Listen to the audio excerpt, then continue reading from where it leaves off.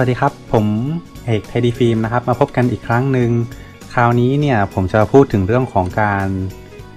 นำตัวอักษรนะครับ มาใช้ใน Sony Vegas นะครับ ปกติแล้วเนี่ยใน Sony Vegas นะครับ เราสามารถทำไอตัว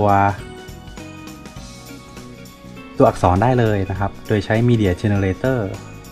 ที่เราใช้ Media Generator เนี่ย เราก็จะใช้ text ตัวนี้นะครับ text จะใช้ตัวไหนก็ได้นะครับ มีให้เลือกทั้งหลายตัว แล้วก็เลือกใช้สักตัวหนึ่งนะครับ ลองใช้ดูนะครับอ่าอันนี้ผมจะพิมพ์คำว่าอืมเอากินไข่ต้มอะนะครับ ผมใช้คำว่ากินไข่ต้มง่าย ๆเลย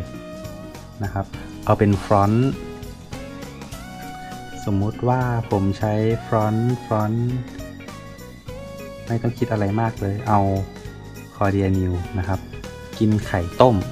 เสร็จเรียบร้อยนะครับ เราก็จะได้ตัวหนังสือออกมาอยู่ตรงกลางจอเห็นไหมครับ ง่ายๆ แค่นี้นะครับ placement ตัวนี้เนี่ยก็คือเอาไว้ปรับว่าไข่ต้มเนี่ยมันจะอยู่ตรงไหนนะครับ property text color นะครับ color ตรงนี้เราก็สามารถเลือกได้ว่าเราจะเอาสีอะไร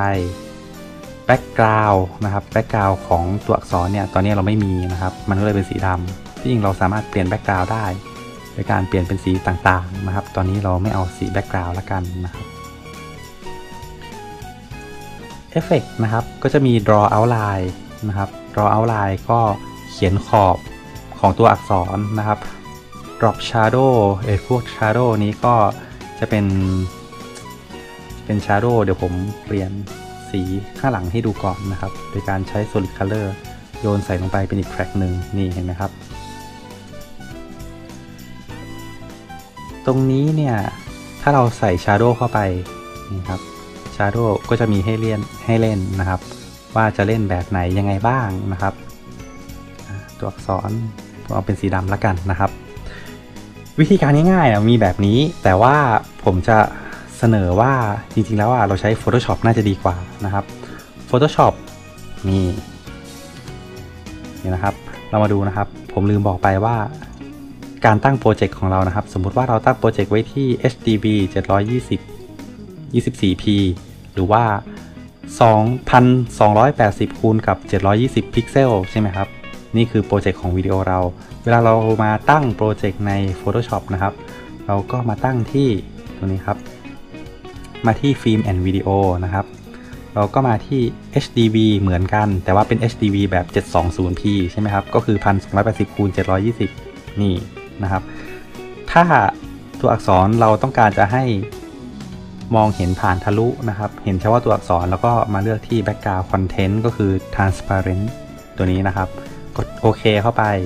ก็จะมีจอขึ้นมาให้ นี่ อันนี้ก็คือจอทีวีของเรานะครับ เส้นสีฟ้าตรงนี้เนี่ยก็คือ เส้นที่อยู่นอกสุดนะครับ จะเป็นเส้น safe zone 5%นะครับ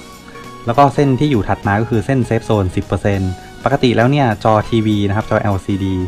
ทีวีของเราเนี่ยจะกินเส้น safe zone เข้ามาประมาณ 5%เวลาเล่นกับเครื่องเล่นนะครับ อันนี้ที่ผม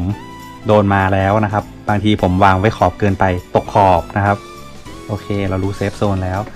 เรามาดูนะครับ อันนี้เราใช้คำว่ากินไข่ต้มใช่ไหมครับ ผมก็จะพิมพ์ในนี้ เป็นอันเดียวกันเหมือนกันก็เลือกที่ ตัวอักษรนะครับ ก็พิมพ์เข้าไปเลยครับว่ากินภาษาไทยครับ กินไข่ต้ม เอาฟอนต์ให้เหมือนกันก่อน เดี๋ยวจะงงนะครับคอเดียนิวชึบ โอเค หนาไหม เอาหนาด้วยนะครับ โอเค ผมกด Ctrl T แล้วก็ขยายตัวอักษรนะครับ โอเค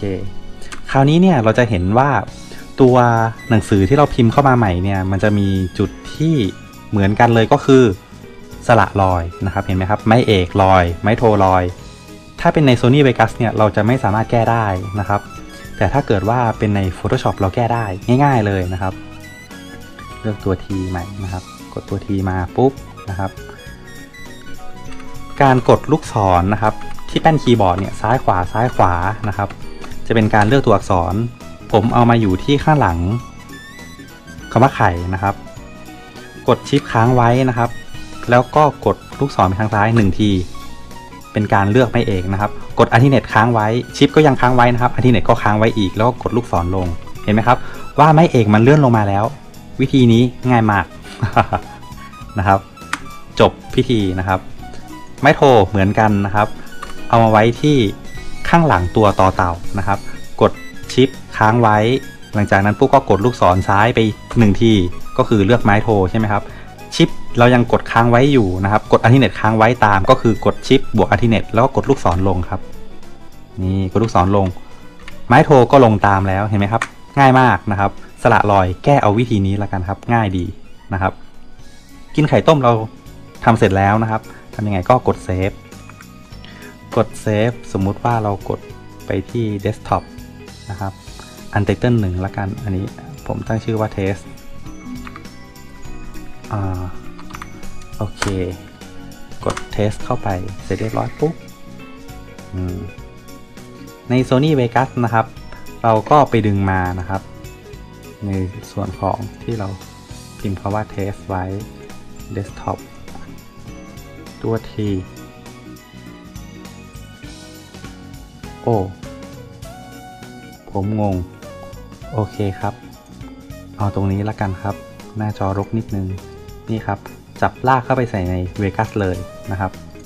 ตรงนี้ก็จะกลายเป็นคำว่า กินไข่ต้ม เช่นเดียวกัน นี่เห็นไหมครับเอามาอยู่ใกล้ๆกันนิดนึง อันนี้ก็คือเราทำจาก Photoshop นะครับ แล้วก็อันนี้เราทำจากตัวของ Vegas เองนะครับ เห็นไหมครับว่าสระเนี่ยสระรอยกับสระที่เราแก้แล้วนะครับ ของ Photoshop เนี่ยมันมีความพิเศษก็คือว่าเราสามารถเข้าไปแก้ไขได้ทันทีนะครับ อย่างเช่นต้องการจะทำให้มีเงาเกิดขึ้นนะครับ แล้วก็ใช้ FX ขึ้นมาก็ Drop Shadow เราจะ Drop Shadow เป็นแบบไหน Spread เท่าไหร่นะครับ Size เอามากน้อยขนาดไหน โอเค สมมติว่าเป็นแบบนี้ ผมก็กด Ctrl S ก็คือ Save มาดูที่นี่เลย เห็นไหมครับ ก็จะทำการอัปเดตให้เลย Sony Vegas ก็จะอัปเดตให้กินไข่ต้มก็จะมีเงา ถ้าเราจะทำอย่างอื่น อย่างเช่นเปลี่ยนสี หรือว่าจะใช้เอฟเฟกของ Photoshop ในการทำให้ตัวอักษรมันดูน่าสนใจมากขึ้น อะไรก็แล้วแต่นะครับ อย่างที่เรารู้ๆกันนะครับ เวลาเปลี่ยนแปลงที่ Photoshop ปุ๊บนะครับ มาที่ Sony Vegas Vegas ก็จะทำการเปลี่ยนแปลงให้เลยทันทีนะครับ ในส่วนนี้ก็จะทำงานได้ง่ายขึ้นนะครับ กินไข่ต้มอันนี้ก็ของของ Sony Vegas ก็ยังไม่ต้องใช้ละกันนะครับ เห็นไหมครับว่า เราทำตรงนี้ตัวอักษรก็จะได้เท่ากันกับจอของตัวนี้เลยเห็นไหมครับ ถ้าเราทำให้ใหญ่ขนาดกิน safe zone นะครับ สมมติว่าผมทำให้กิน safe zone ไปที่ตัว 10%นะครับ ตัวนี้ 10%เซฟนะครับ กลับไปดูที่ Photoshop เอ้ยกลับไปดูที่ Sony Vegas รันเส้น 10%เห็นไหมครับว่าอยู่ใกล้เคียงกับขอบขอบเส้น 10%เลยนะครับ เพราะฉะนั้นนะครับ การทำตัวอักษรก็ง่ายๆแบบนี้นะครับ ลองทำดูนะครับ นอกนั้นมีอะไรอีก Event Pan Crop นะครับ ในส่วนนี้ก็ชอบใช้อีกเหมือนกันนะครับ ก็คือ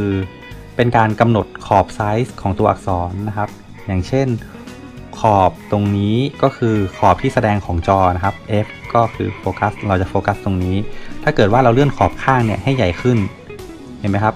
ตัวคำว่ากินไข่ต้มเนี่ยก็จะเล็กลงนะครับ หรือว่าทำการหมุน เห็นไหมครับ อันนี้จอหมุนไปทางด้านข้าง จอหมุนไปทางด้านข้าง ตัวอักษรก็จะหมุนตามนะครับ ลองเล่นดูสักพักหนึ่งนะครับ แล้วจะเข้าใจ ถ้าเกิดว่าเรา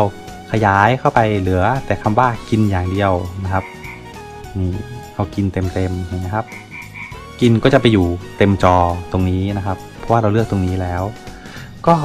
เราก็ใช้วิธีง่าย ๆ แบบนี้นะครับ ในการทำก็เพื่อนๆลองทำกันดูนะครับ คิดว่าไม่ยากเกินไปแล้วพบกันคราวหน้าครับ สวัสดีครับ